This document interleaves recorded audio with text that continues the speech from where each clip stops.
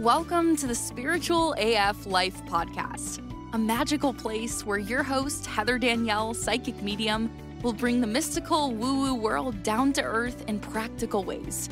Tune in every Monday for your weekly reading and on Wednesdays to hear fascinating conversations with spiritual experts, uplifting stories, and deep dives into the metaphysical world, all to help you tap into the invisible guidance that's all around you. It's time to start living a spiritual AF life. Get cozy, the conversation is starting now. Happy Monday and welcome to the Spiritual AF Life podcast. And in case you don't know, every single Monday I am going to bring you a weekly reading from your spirit guides, past loved ones, and possibly angels to go ahead and bring you some insight for your highest good for the week. And in case you don't know, I am going to be posting these on Facebook and I do try to put them on Instagram sometimes. So definitely watch out for my stories. I'm trying to get a little bit better with that. And I also have them on Pinterest. So if you are a Pinterest lover, then definitely check out my Pinterest in the show notes because I will also be putting them on there. And you can also go back and look at some of the cards from previous dates and then see, like, oh my God, that card was so spot on for that day. I love looking back on the cards and the guidance because sometimes they might make make sense right away, but then in the future they're going to make sense. All right, so before I choose Monday's card, I have to tell you something that I keep on forgetting to tell you, and that is the Oracle 101 course is about to go through its last lessons on Saturday. And it is an amazing course and it is part of the Coffee and Cards Club. And I know that you know that, but I did not tell you that the price for the Coffee and Cards Club is actually going to go up. Not if you're Coffee and Cards Club member already. Price is going to stay the same for you but it is going to be more to get into the club. So I would recommend that if you are thinking about it, to go ahead and join now just for that $7 and you have full access to the Oracle 101 course, of course, with other courses too that you get and little classes and the community and all these kinds of things you get so much but the seven dollars to join is uh, going away soon. And if you don't want that monthly payment which i think is like $27 right now then you can pay for the whole year for just 270 so you actually get two months free and it is a bang up deal because we spend lots of time together and you are going to have a resource library like nobody else. Like honestly what i'm doing with the club is i'm making it to where you're not going to really need another spiritual course again. I'm really trying to give you everything inside of that course inside of the club so you don't need any more of those things. You will have it all right there in one spot whenever you need it. All right, so reach out to me or check the show notes for the link to at least look at what is included in the club. All right, now since we got out of the way, let's go to Monday's card. Monday's card is Lizard Spirit, and this is from the Spirit Animal Oracle by Colette Baron Reid. And I chose this because I really feel that animals are really, really big this week. We really need to be paying attention to the animals and I mean, the animals that are outside, like wildlife. Definitely, if you have pets, I would keep that in mind. But I'm definitely seeing a lot of birds, a lot of butterflies. I'm seeing a lot of that outside, and that really having symbolism that we need to basically pay attention to. So the lizard spirit is coming up for Monday and it is number 38. And it says, Dream the world into being.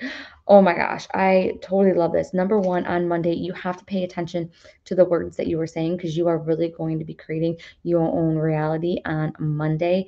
And basically, whatever you're focusing on Monday, there is a sensitive energy there to where you are going to get whatever you're thinking about. So if you're having a rough day and you keep on thinking about having a rough day, guess what? Your day is just going to get more rough. Okay. And it says here that Have you been allowing your imagination to run amok and dream up a nightmare that seems to have come true? Fear not, for whatever dreaming you did in the past can change today as you dream anew. Wake up from the perception that everything is wrong. Lizard Spirit asks you to open your eyes and consciously dream a better dream. What would it look like to you if you already have what you desire and be the one you wish to be? How it might feel to work with co creating this new dream. Hmm. And that's a protection message that I was really guided to share with you. So, love this. Also, the spirit message is going to be to daydream. If you could have everything that you wanted and there was no limitations, what would it be? I feel like on Monday, it's not a day of a lot of action. I feel like there's a lot of busy work in the mind. And so they just really want you to focus on that as opposed to some of the physical stuff on Monday. Okay, so now on Tuesday, Tuesday is the seahorse spirit. It says watch and wait, and it is number 53. I love this. It's like literally straight into the point because it's telling you not to make any moves, not to take any action. It is a time for you just to chill and to wait. I don't care if they give you a deadline. Deadlines can always be pushed back. So, unless it's like extremely imperative, I would just do what this card says and wait. Don't make any rash decisions because what could possibly be happening is that things will work out. But then if you really get involved, then you could make things worse or more complicated. So Tuesday, they're saying, hey, chill out. And it's really funny too because I have something like I'm like, oh my God, do I need to take care of this? Like I I, I did something wrong and things are just kind of chaotic on Tuesday. So it's really funny that this card is saying to wait. So I'm not going to do anything to try and fix it because it may fix itself. And that's the same exact message that I'm getting for you. And then it says for you to step back from whatever situation you're thinking about or whatever situation comes up on Tuesday and be willing to explore things from different angles rather than a single one and just observe what is possible. From the perspective of the position of the neutral observer, you will discover opportunities and, do, and a deeper understanding of what you seek and why.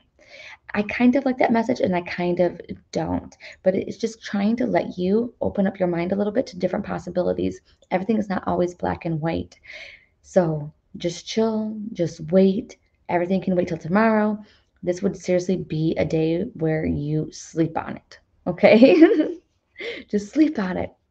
Okay, now we're moving on to Wednesday's card, and that is the Porcupine Spirit.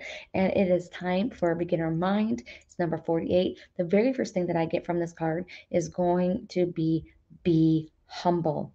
Be humble on Wednesday. Don't make assumptions. This is going to be a day for you to listen. Try not to react. I try just to be chill again kind of going with the same energy from Tuesday. So maybe whatever you're dealing with with on Tuesday, on Wednesday, there's probably still some of that energy there. So I would just kind of, like I said, be humble, chill, let the other person make the first move, let them come to you when you are talking back and things like that. Really try to come from a place of compassion and understanding because it's going to get you further than if you were to, you know, fight back and be a little bit sassy and things like that you're I guess you're going to have a little bit more respect if you do it that way. This is time where it's like be a little bit more sweeter. So whether you're looking for a job, just talking about a relationship, whatever that it's talking about, I just want you to really put yourself in the other person's position and be nicer be nicer and if you're trying to go for job interviews and things like that you know really come from a curious mind. Be youthful. Be cute. Don't be passive aggressive. That is not what you want on Wednesday. You really want to make other people feel comfortable on Wednesday to where they can let their guard down and for you to be nicer with the communication so that you don't have to make anything worse, probably, amongst other things. and you're going to get a little bit more movement when you do that. You're going to come from a little bit more of a place of understanding and they're going to too. Basically, you're going to get more of your way of what you want, even if you don't know what you want yet. If you play your cards right on Wednesday, stay in that humble, sweet, compassionate kind of energy and that curious, youthful energy.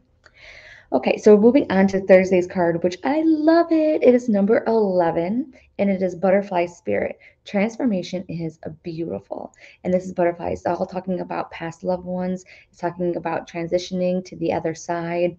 Wow, I absolutely love it. So if you had anybody that passed, definitely on Thursday, it, there's a lot of crazy energy around it. So they might be showing you signs, they might be letting you know that everything's okay, they made it to the other side, and they're truly, truly with you. That number 11 is really standing out to me. So number 11 is the month of November, which reminds me of my son. So that could definitely, you know, relate to, okay, like your son or it's somebody in the military. So a lot of times people who had like a military background, things like that, they will show me the number 11 because there's a lot of military holidays inside of the month of November.